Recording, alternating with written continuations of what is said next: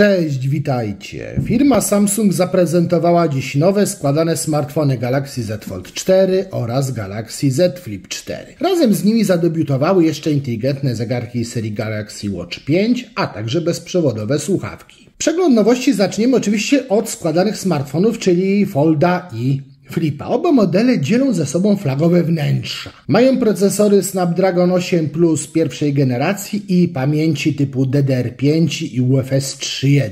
Oba zaprojektowano tak, żeby były jak najwytrzymalsze. Wytrzymają minimum 200 tysięcy cykli składania i rozkładania, co można przeliczyć na ponad 5-letnią eksploatację przy założeniu, że każdego dnia będziemy otwierać i zamykać obudowę 100 razy. Ramki zawiasy obudów są oczywiście metalowe, a fronty i tyły telefonów chroni szkło Gorilla Glass Victus 5. Warto podkreślić, że oba składane smartfony Samsunga są wodoszczelne w klasie IPX8, wytrzymają zatem półgodzinne zanurzenie na głębokości 1,5 metra, oczywiście w obojętnej chemicznie, czyli słodkiej wodzie. Oto przed Wami składany Samsung Galaxy Z Flip 4. Przypomina kształtem i wyglądem poprzedni model, ale jest minimalnie mniejszy. Zredukowano szerokość zawiesu o 1,2 mm, a wysokość złożonej obudowy o 1,5 mm.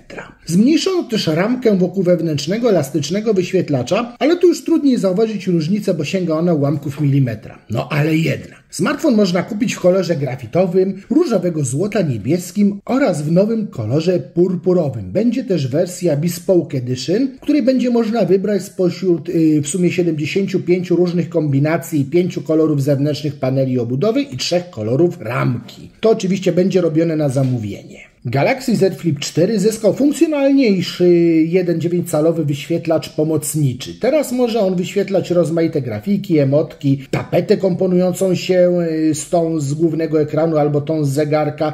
Na ekraniku można też ustawić sobie GIFa albo krótki filmik. Oczywiście ekranik ten niezmiennie prezentuje powiadomienia, ale daje też możliwość nawiązywania połączeń czy odpowiadania na wiadomości bez otwierania obudowy. Można też sobie na nim wyświetlić podręczne skróty chociażby do latarki. Ponadto ekran zewnętrzny pozwoli również obsługiwać aplikację SmartThings do zarządzania ekosystemem Samsunga, no i oczywiście pozwoli wybierać karty w Samsung Pay. Galaxy Z Flip 4 ma trzy aparaty fotograficzne. W ekranie 10-megapikselowy z przysłoną 2.4 oczywiście do selfie, natomiast po zewnętrznej stronie klapki znajdziemy dwa 12-megapikselowe aparaty. Szerokokątny z przysłoną 2.2 i główny z przysłoną 1.8 oraz optyczną stabilizacją obrazu.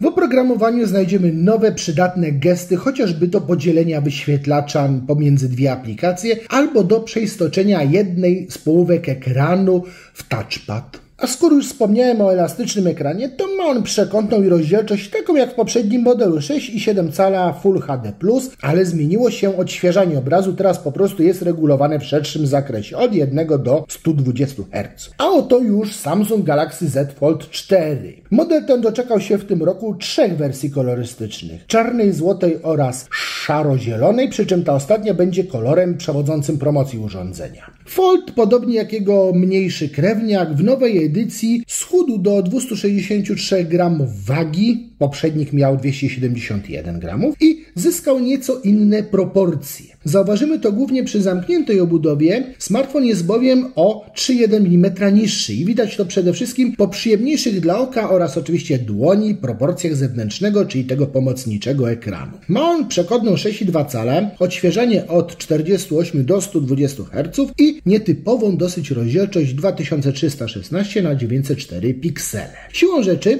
proporcje wewnętrznego ekranu też uległy nieznacznej zmianie. 7,6-calowy wyświetlacz Dynamic AMOLED ma odświeżanie od 1 do 120 Hz. Ulepszono też umieszczony pod tym ekranem aparat do selfie. Ma nadal niestety tylko 4 megapiksele, ale teraz mniej rzuca się w oczy. Również i tutaj dokonano ulepszeń w wykorzystaniu połówek wyświetlacza w trybie Flex Mode, czyli wtedy, kiedy obudowa telefonu nie jest otwarta w pełni. Tu także pojawia się funkcjonalny touchpad. Oczywiście mamy też do czynienia z dużo szerszą optymalizacją popularnych aplikacji, np. Facebooka. Prowadzono też bardzo funkcjonalny pasek skrótów, przypominający trochę ten z Windowsa czy z macOS. Naturalnie wewnętrzny ekran potrafi również współpracować z rysikiem. Niestety rysik trzeba sobie nadal kupić osobno. Sporo zmian wprowadzono również w obrębie fotografii. Co prawda aparat do selfie w zewnętrznym ekranie nadal jest 10 megapikselowy, ale za to aparat główny ulepszono. Dostał teraz główną matrycę 50 megapikseli z optyczną stabilizacją obrazu, szerokokątny moduł 12 megapikselowy i 10 megapikselowy moduł z teleobiektywem o trzykrotnym przybliżeniu i również ze stabilizacją. A to już nowe zegarki Samsung Galaxy Watch 5 i Galaxy Watch 5 Pro. Przede wszystkim mają większe od poprzedników akumulatory, które zapewnią dłuższy czas pracy. Oba zegarki korzystają ze znanych już procesorów Exynos W920, mają po 1,5 GB RAMu i 16 GB pamięci wewnętrznej, no i oczywiście system Android Wear. Zegarki te są wyposażone w optyczny pulsoksymetr, a także bioelektryczny sensor analizujący skład ciała. Ponadto zegarki naturalnie monitorują sen, aktywność fizyczną. Mogą ponadto też dokonywać pomiaru ciśnienia tętniczego i EKG. Zegarki zyskały szafirowe szkiełka, a wariant Pro ma dodatkowo tytanową obudowę z lekko wystającą ponad ekran ramką chroniącą go przed stłuczeniem. W modelu tym zastosowano również nowy typ paska z magnetycznym zapięciem. Na koniec nowe słuchawki Samsung Galaxy Buds 2 Pro. Są one mniejsze i lżejsze od modelu poprzedniej generacji. Oferują one oczywiście lepsze od poprzedników brzmienie, które osiągnięto dzięki wykorzystaniu 24-bitowej transmisji dźwięku, niestety działającej tylko ze